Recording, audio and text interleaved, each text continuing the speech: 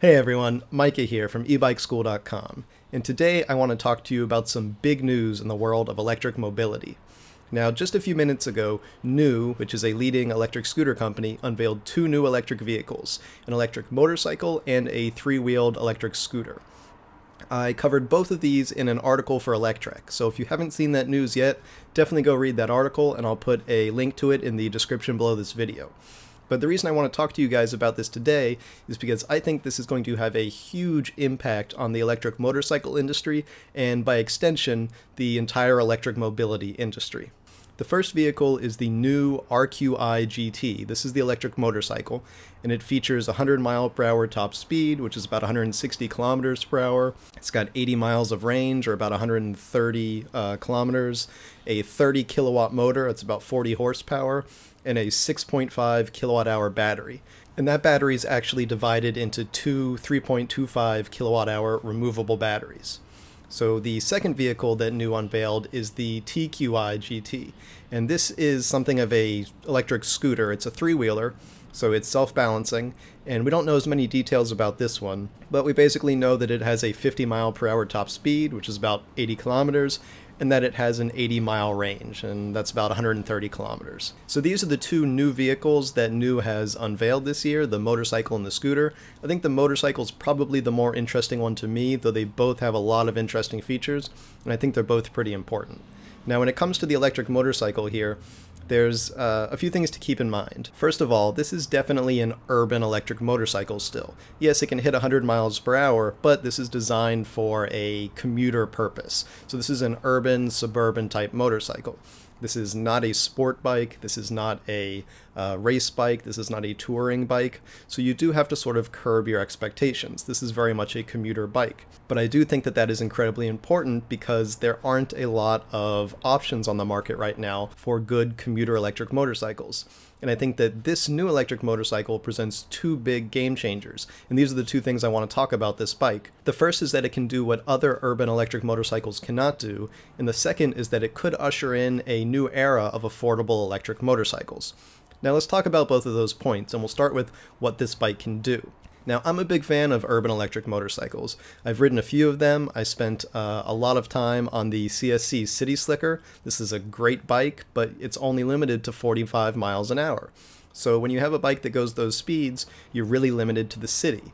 You could do a bit of suburban riding, but once you get onto any roads that are posted 45 miles an hour, you know that people are going to be doing 55 miles an hour there, and a bike like this just can't keep up.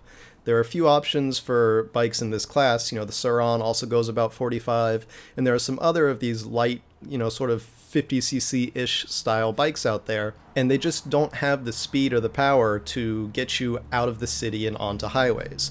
And so what is really interesting about the new RQi GT electric motorcycle is that it has that 100 mile per hour top speed. So that means that any interstate, any highway, any road you take to work, is probably going to be appropriate for this motorcycle. And I can't tell you how many times that I've met people that have said, you know, I'd really love to switch to one of these urban electric motorcycles.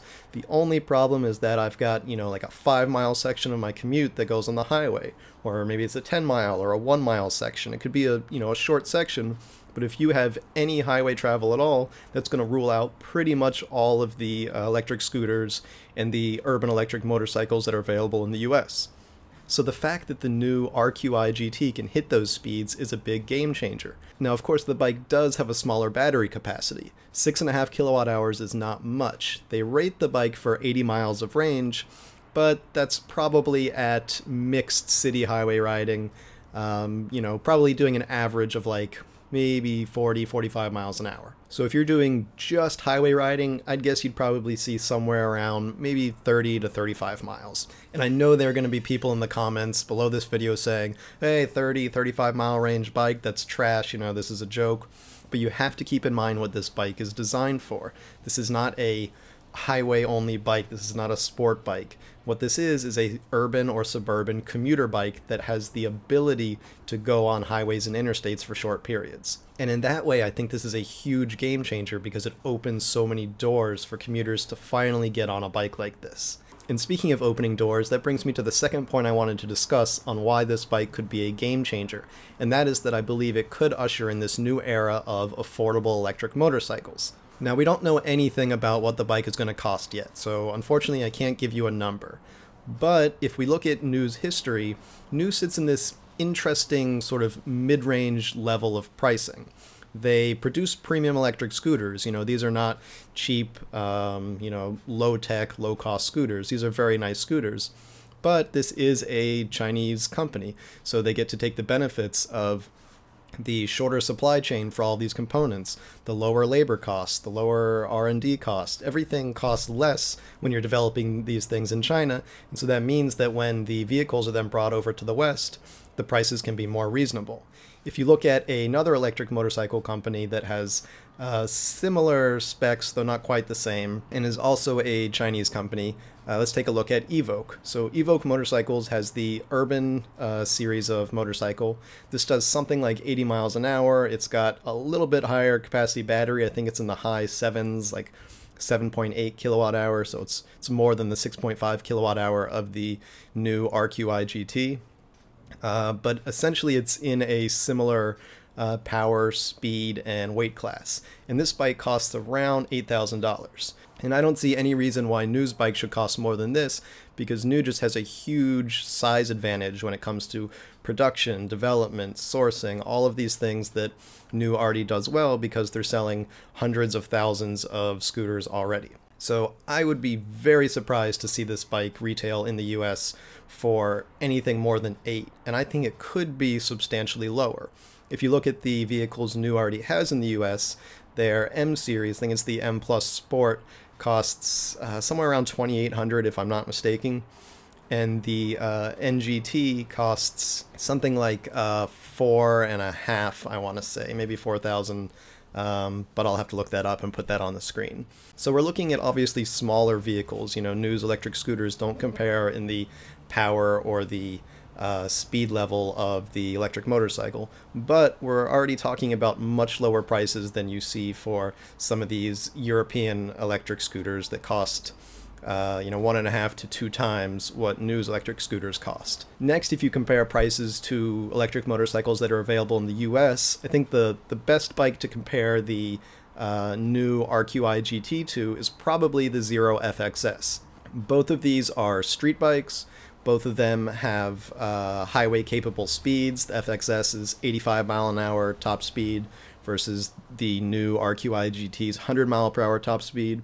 They have similar battery capacities 7.2 kilowatt hours for the FXS, 6.5 kilowatt hours for the uh, RQi GT. But if you look at the price, the FXS is it's it's inexpensive compared to what we have in the US, but it's still an expensive bike at about $11,000. And if you want to get the version of the FXS with two removable batteries, which would be equivalent to the uh, two removable batteries on the new motorcycle, then you're looking at another thousand bucks. So you're talking about twelve thousand dollars versus what I estimate to be an under eight thousand dollar bike from NIU, and potentially significantly less. So when you compare what NIU could come into the market with in terms of pricing, we could be looking at an entirely new era of affordable electric bikes. And again, some of this is speculation because we don't know what the pricing is yet. It could be the NIU comes in and says ours is, you know, ten, eleven thousand dollars too. But I don't see that happening because of the advantages they have on pricing and because of the scale of production that they're already doing. Next, I want to touch on the TQi GT. This is the second vehicle that NIU unveiled, and this is a slower model than their motorcycle. It only goes 50 miles an hour, but that's still faster than pretty much every electric scooter available in the US, so this is still potentially a game changer. Obviously, you're not going to be taking it on highways or interstates, but for a suburban commuter vehicle, this could be perfect. I mean, how many people are going more than 50 miles an hour in the city or in the suburbs? Probably not that many. The other thing that's interesting about this vehicle is that because it's self-balancing, it could be a lot more approachable to people that wouldn't normally consider themselves motorcycle people. So there could be a lot of you guys that are watching this thinking, you know, that motorcycle looks interesting, but I'm not really a biker kind of guy. Like, that's not what I ride. But you might look at that TQi GT and think, huh, that's interesting. I mean, it's kind of like an e-bike, but it's easier to balance and it, it only goes 50 miles an hour, so it's not like I'm going to be driving 100 miles an hour into a wall on this thing or off a cliff if I lose control of it. And uh, yeah, you know, maybe I could see myself on something like that. So I think that's sort of the point of this vehicle is to make it more approachable and something that people that wouldn't normally consider themselves uh, motorcyclists might be interested in. The other thing is that with that covered top, it's also going to be really good for rainy areas, like in the Northeast or the Pacific Northwest, where you get tons of rain, and there are people that want to be able to switch to an electric motorcycle or a bike, but they just don't really have great riding weather. So obviously this is not going to keep you completely dry, but it's going to be a lot nicer than just riding a standard motorcycle or scooter because you do have that covered top. Now, like I said at the beginning, between the two vehicles here, the uh, motorcycle RQi GT and the three-wheeled scooter, the TQi GT, I'm probably more interested personally in the motorcycle, just because that's closer to the kind of things that I ride. But that uh, covered electric scooter does seem really interesting. I have ridden some three-wheelers before, and they can be kind of nice. You know, when you come to a red light, you don't have to put your feet down. Uh, they feel more stable sometimes at, at, low speeds where you don't have to worry about, you know, sort of um, waddling with the bike or, or putting a foot down every now and again when you're doing slow speed maneuvers. So they could be really interesting. I'm really looking forward to testing these things out as soon as there are test models available. I'll hopefully be doing reviews for Electrek, so definitely be watching out for those but both of these vehicles I find incredibly interesting for the market just because of the potential they provide. These are brand new vehicles coming into a new market that is used to higher prices and they could really be a big shift. I think potentially the beginning of a new era of affordable electric motorcycles and higher speed electric scooters. It's a little too soon to tell for sure because we don't know what the pricing is, but based on what NIU has been able to do with their production and pricing in the past, I think we're looking at the potential for some very interesting price points that could have a big impact on moving people towards electric mobility solutions. All right, so that's all I've got for you today. Thank you guys for listening to me ramble on about a topic that I find interesting. I hope you guys found that at least a little bit interesting too. If you stayed this long into the video, then I'm guessing that's probably the case. So thanks for hanging out with me. And last but not least, before we go, it's time to choose the randomly selected commenter that's the winner of the giveaway from my last video. And the winner is... Hundiente. So congratulations. Just let me know which one of my books you'd like. You can choose from my DIY lithium batteries book, or my DIY solar power book, or a book on building your own electric bicycle, or on electric motorcycles. And anyone else who wants a chance to win one of my books for free, all you have to do is put a comment below this video. You can say anything you want. You know, you can let me know what you think about these bikes, or you can just say, hey, how's it going? And hopefully you will be chosen as the randomly selected commenter at the end of my next video. And anybody who wants one of my books but doesn't want to wait that long to win the giveaway, you can always find my books on Amazon. Thanks for watching, everybody. See you next time.